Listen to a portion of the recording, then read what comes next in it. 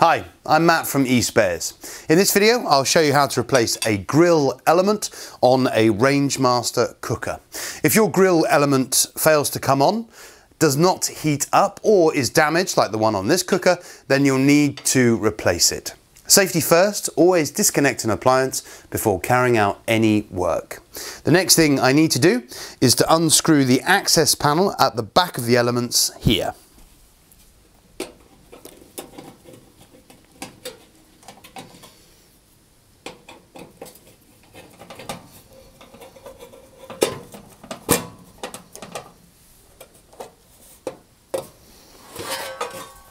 With the access panel removed, here we can see the two grill elements.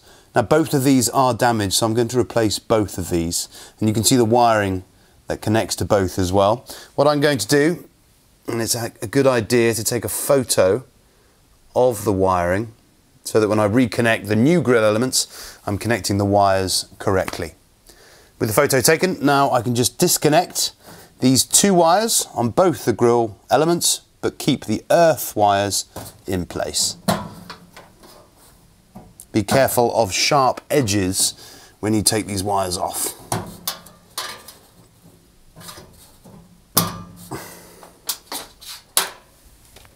If you come round to the front, the two grill elements are here, but they're behind this baffle plate and held in place by a bracket behind. So the next thing I need to do is just to remove this baffle plate by undoing the two screws that hold it in place.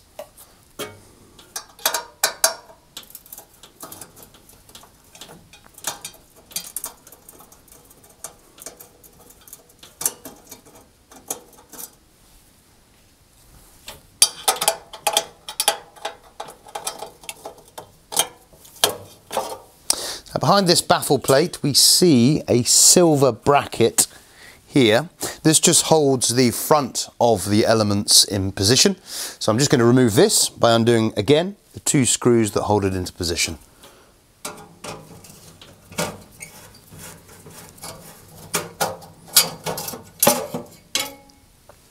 Now that the bracket is removed, I'm just going to pop some cardboard in at the bottom of the grill to protect my hands and my arms. Using a torch to look inside the grill, we can see both the elements, and the one on the right particularly has sagged considerably. Of course, the element is partially made of metal, which gets very hot and over time weakens and eventually sags like this one. So these both need to be replaced.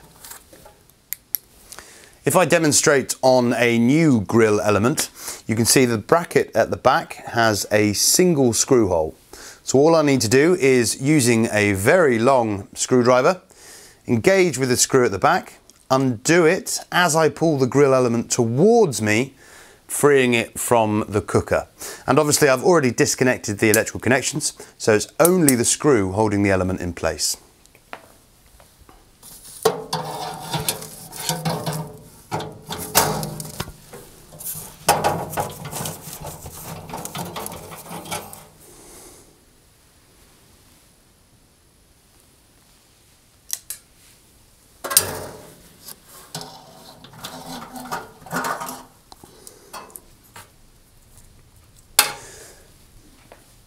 Here we can see one of the old elements that has come out.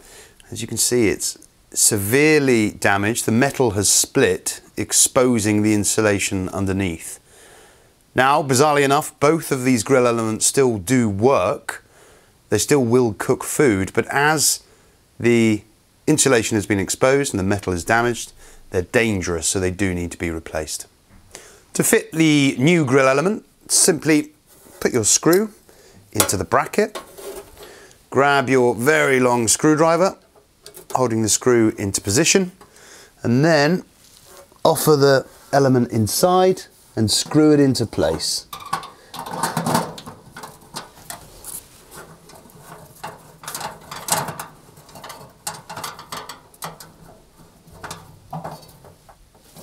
Now with both elements fitted, I can refit the bracket at the front and also the baffle plate.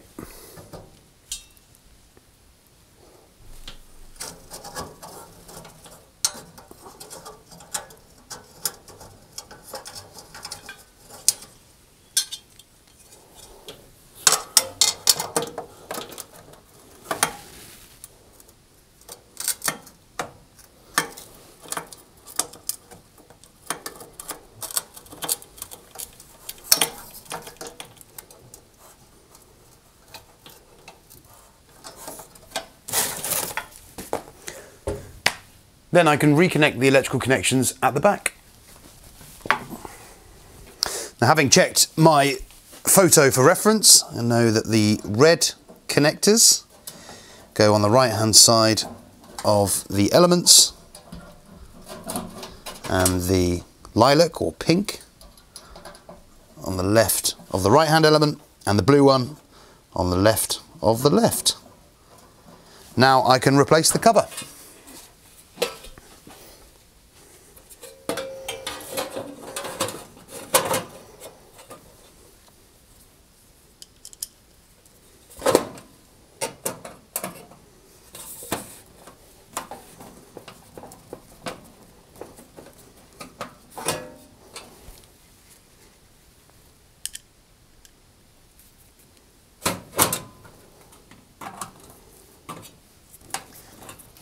So there we have it.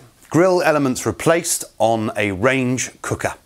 Remember, spares and accessories for all the appliances around your home can be found on the eSpares website.